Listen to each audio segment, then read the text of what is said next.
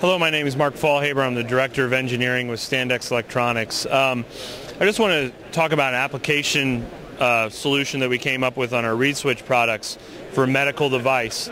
Um, our, our micro miniature reed switches are used in a lot of applications in small medical devices where um, non-contact sensing is needed as well as implement ID and um, other safety items.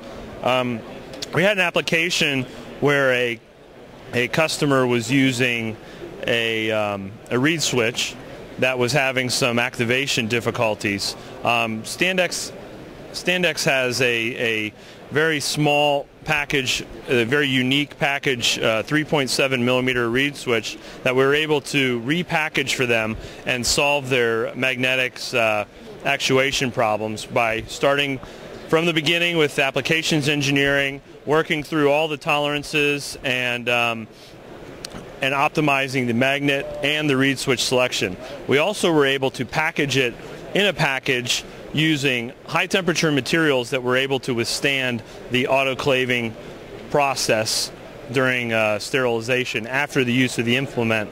So the, the, the customers also that also solved some problems where the customer was having stress, thermal stresses put on the existing product um, during that that process. So we were able to use special materials and do testing ourselves to to make that work. So we redesigned the magnetics and we redesigned the mechanical packaging to get it to work in that environment.